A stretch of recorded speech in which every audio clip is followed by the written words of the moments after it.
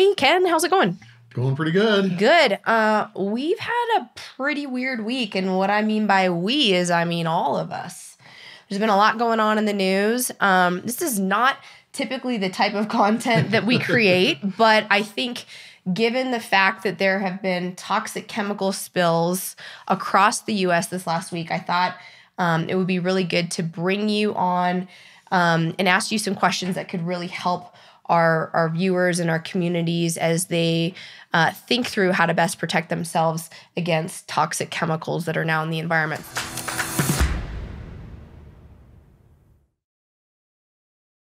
So we had, um, in case you guys haven't been paying attention for some reason, um, there was a uh, toxic train derailment in Ohio. There was also um, one in South Carolina. There was one in Houston. And then yesterday, today is um, February 15th, 2023.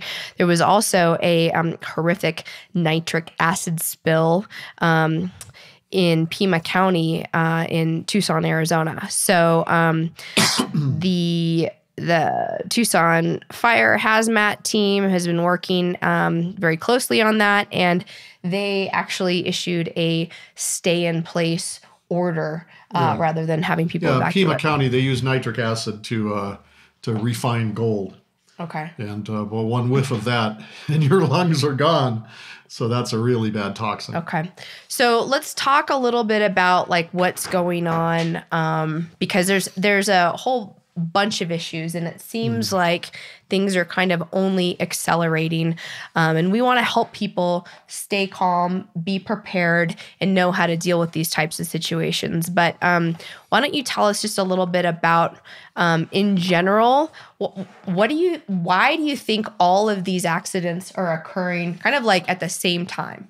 Well i think it's just a general breakdown of uh, of our situation here. The the railroads haven't been maintained, mm-hmm.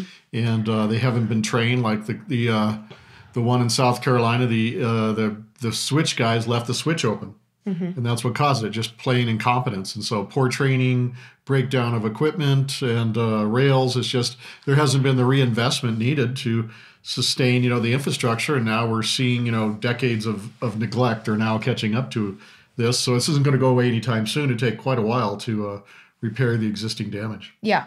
And then in Ohio, um, it sounds like they just made a really inappropriate decision to actually set those chem- once the spill happened, they decided just to set those chemicals on fire and burn them off, which is a really, really bad decision. Yes, it was probably well. They they had a choice there, and they just uh, that's the choice they made.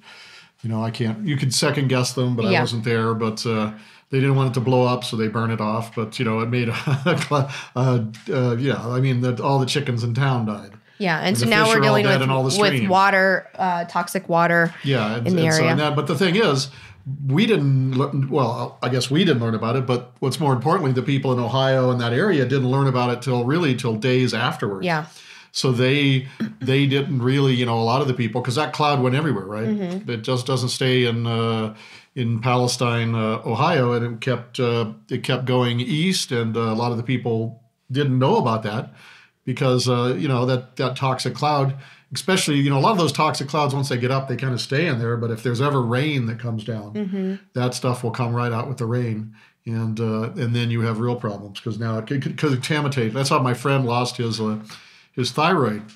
Uh, I think I mentioned that in another one. He was back in the atomic days in the 50s when they blasted that uh, those nuclear weapons in the atmosphere. Mm-hmm. And uh, he he worked. His family had a dairy farm in uh, on the east coast, I think Delaware.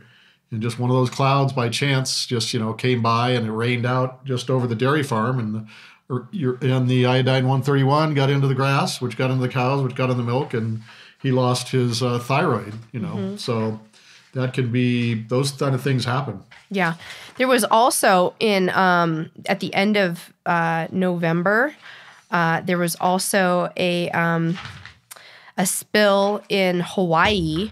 Uh, I believe it was on Oahu Island, and they um, they spilled thirteen thousand gallons of um, PFAS, which is F triple A chemical, which is a um, a chemical that they use as a fire retardant. It's oh. highly toxic. It never Oh yeah, it's it for, never that's goes a forever away. kid. It's a Yeah, and bromelain it- uh, chlorofluorocarbon and it's in thing. the water supply now and there hasn't been a lot of communication around what does that mean for think the that- residents of Oahu. I think that was the U.S. military that did that. The whole the Yeah. whole island there around Pearl Harbor is just a toxic mess. They Mm-hmm. had, they had leaking fuel jet fuel pipes and they got on the water supply. I mean, it's just a nightmare there. Yeah. So we've got we've got four states right now that are dealing with some pretty serious toxic chemical um, and environmental pollutants. So let's let's dive in. Ken, what do you think is most important for people to know right now about what they can do to protect their health? What are the top um, and again, before we dive into this, I should say Ken's not a doctor. I'm not a doctor. This information is strictly for educational and entertainment purposes only. And you definitely need to check with your healthcare provider if you have any questions. But I am a chemist, so I can. Um, yeah, uh, so let's so I talk can tell about- you what those nasty chemicals are about. Yeah, let's talk about it. And what what are your top recommendations for either supplements or natural things that people can do to support their body, um, not only to detox but to protect themselves? Well, the number one thing that you can do is uh, filter your water. Okay. That's the number one thing because especially if you're getting river water, I mean they run those things. You know they basically just dump the sewage system from the town upstream into Mm-hmm. the thing, and there's a lot of things that can't be filtered out, like pharmaceuticals and, uh, and Birth and- control yeah, pills, that, yes. Prozac, you know, all that stuff. And- anything and that you're everything. Yes, all Yeah. kinds of cl- other nasties are in the water. So you really have to uh, put a filter on your water, and even they have even ones for the shower. There's good ones that you can just do your whole house, depending on where you live. Mm-hmm. You know, obviously if you've got some nice well water, Yep. and uh, and you know, but you should get to, if you do have that, you should probably test your well water as well. Okay. But uh, filtering your water is is is a number one uh, most important thing I would think that to, to protect yourself against nasty chemicals. And then the other is um, is the food that you buy, because you know think about it: the water that you drink, obviously the air that you breathe. That's uh, you don't always have a lot of control over that. Be but uh, you know obviously if you were living in a better place, but sometimes we can't. We're just where we are. Yeah. And so so that's uh, that's that's a bit more difficult. So let's talk one. about that. When you say the food that you buy, let's Oh. be let's be a little bit more. Well, let's, well, we're going to look at it for organic foods. Uh-huh. And they found in studies, they found that if people ate organic fruits and vegetables for just two weeks, Mm-hmm. 90% of the herbicide and pesticide burden in their body that could be determined by testing went away. really. Just two weeks of eating organic food. That's so pretty cool. And of course, there's other things. Of course, we uh, also it's like the processed foods. You know, basically everything on the inside of the So avoid of, the, those. of the, the grocery store, all those highly processed foods. You want to eat basically food as close to nature makes it as possible. And uh, the highly processed foods are just full of all kinds of. Basically, read the labels. Mm-hmm. The general rule is if you can't pronounce the word on the label, you shouldn't be eating it. Right. That's that's a general uh, rule of thumb. Okay. So, clean water, fresh foods, um, as it relates to these chemicals getting up into the atmosphere and raining down, what should we be thinking about when we're when we're outside, when we're exercising, when, when we're with our animals? If you're in part of the country that could be at risk for exposure to these nasty chemicals, what what do you need to be aware of? Well, of course, there, and yeah, I mean, you just have to be aware if there's been a problem like that, and also you have to be aware of like a lot of times you've seen people, like in the summertime, people go out there and spray their lawns Yeah. with incredibly toxic pesticides and herbicides, and they put like a little sign on them. But you know that that that stuff is volatilizing, uh, volatilizing off the lawn, and people are breathing it in. You know, the pet Your runs on it, the person. on yeah, it, I mean, yeah. it's just it's just basically it's like you know you're you're basically killing your family if you put that spray that stuff on your Well, lawn. and then it's your pretty pet, terrible. or if you're walking in your neighborhood and your Yeah, pet's walking yeah. through someone's yard, and you happen to, if you're letting your dog poop in a neighbor's yard with one of those little signs, Yeah. you're, you're, it's getting on your pet's feet. Your dog's going to come back in the house. The dog's going to Mm-hmm. jump on the bed, get on the couch. It's going to get tracked all through your house. Yeah, exactly. And there's there's just in, you know, United States allows all kinds of pesticides and herbicides and other chemicals that are completely banned in the rest of the world. So so you can't you can't expect the or the or any of those other uh, organ three letter agencies to protect you. They just don't. They work for industry. They don't work for you. All their executives come from industry, and then they're going to leave and go to industry. So I mean, you really want to take care of yourself. You have to protect yourself because you're not going to get any help from Yeah. from uh, your government's not going to protect you. Sorry, guys. It's just the way it is. Yeah. Okay. Um, so, but let, like, let's talk about right now. Like, let's say you live 150 miles outside of this area in Ohio where this is happening, and there's puddles, there's fresh standing water. Like, how long should you just be cautious about being outside in water in the environment, especially if it's snowing or raining? What do you need to be thinking about? Uh, I would probably, well, first off, you want to filter your water and you want to probably stay out inside for a while.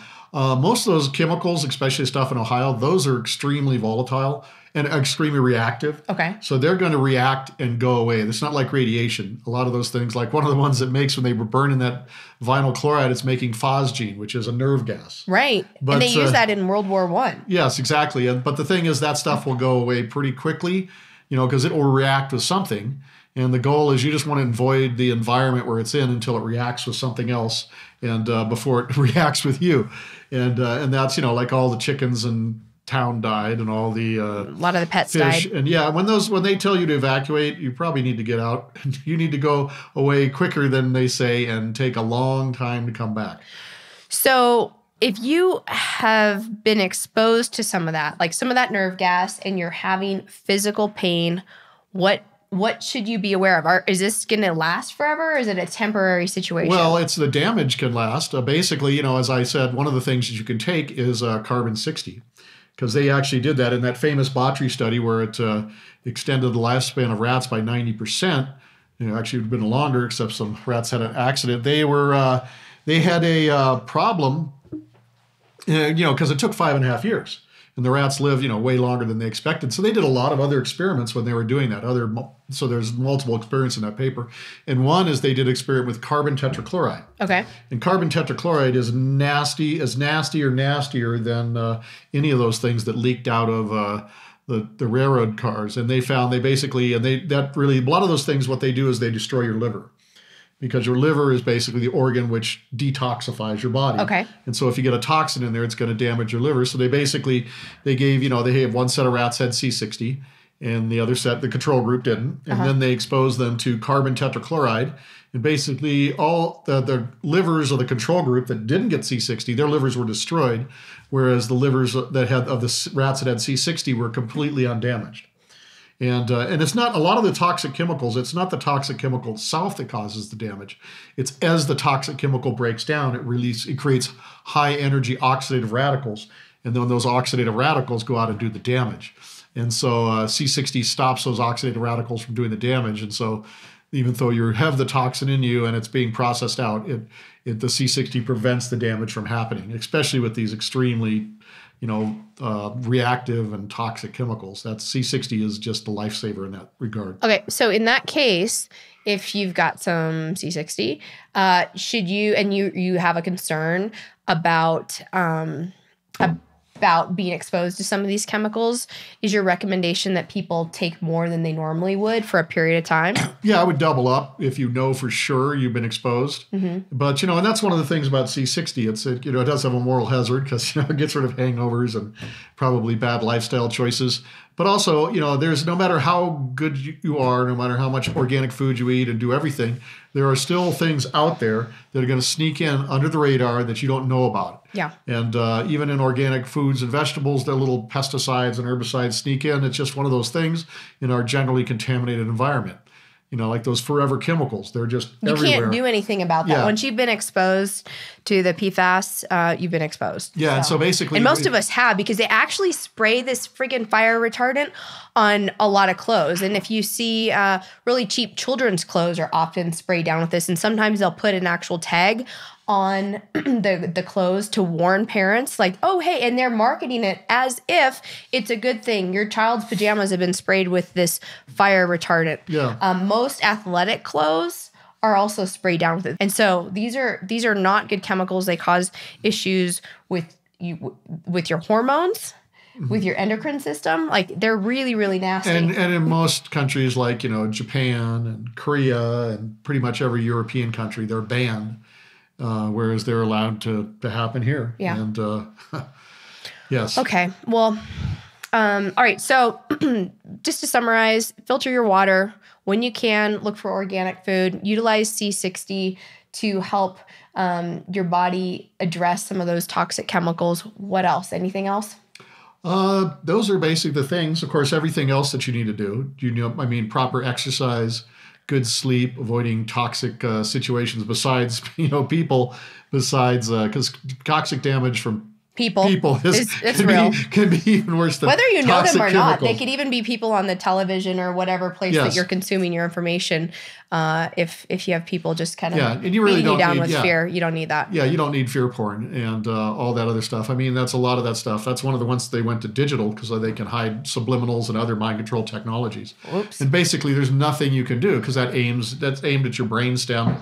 Your frontal lobes can't block it out. So basically, the only way to avoid that is just turn off your television. Yeah. In fact, they found that turning off your television and not watching those television is the number one thing to help with mental health. So, Oh, thank so you. turn off that television. Okay. Thanks, Ken. Yeah.